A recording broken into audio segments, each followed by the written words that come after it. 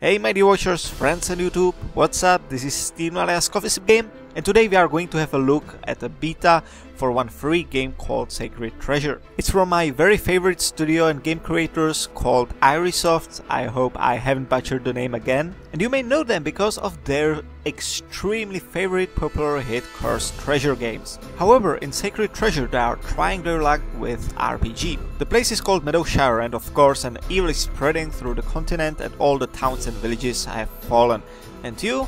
You are going to make it right. There are three characters to choose from, however one is locked and I will speak about it a bit later. So for free you can take Knight or Sorcerer. Generally the game is split into two worlds or into two parts. One is visiting your camp where you can sell, buy or just rest. But most of the time you will spend following the storyline in different maps trying to beat all the enemies. Beside the storyline, it looks like the main motivator will be looting and collecting items. Each character has its own skill tree, but it looks like it doesn't offer a wide range of possibilities, well we will see in the final version. From what I have seen the game looks gorgeous and you know it's Iry Soft and they know what they are doing in this department. The combat system is that you can use some skills or spells, but most of the time you will run to the enemy and according your stats you will fight. The thing I'm afraid of is microtransactions. One of the characters can be bought only through special currency and in the shop there are items which again can be bought only for real money. These days in free games it's quite normal that you can get your hands on the special currency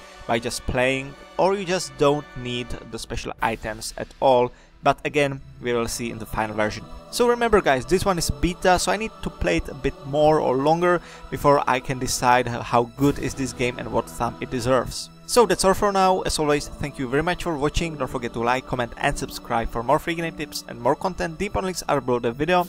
Please visit my Facebook page and like it, it will make me very happy, and I will see you later, bye bye.